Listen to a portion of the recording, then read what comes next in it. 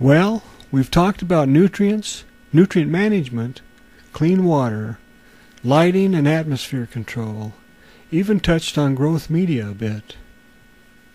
Now, in this final chapter, it's time to put it all together and provide hydroponic gardening systems to get the best plant growth results possible. We'll talk about aeroponic systems which use minimal growth media. The plants are nourished by spraying nutrient solution directly on the plant's roots.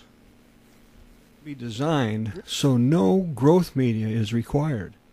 And systems, both homemade and commercial, use a submersible pump in a nutrient reservoir to drip the nutrient solution on each individual plant.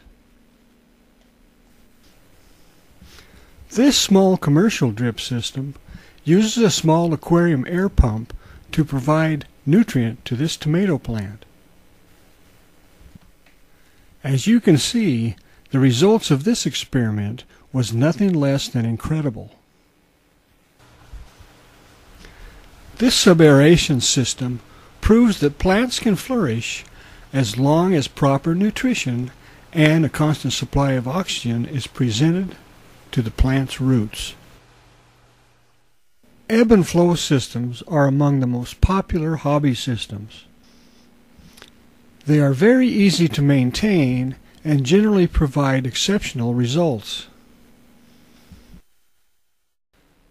The nutrient film technique system, or NFT, is very popular for commercial farming.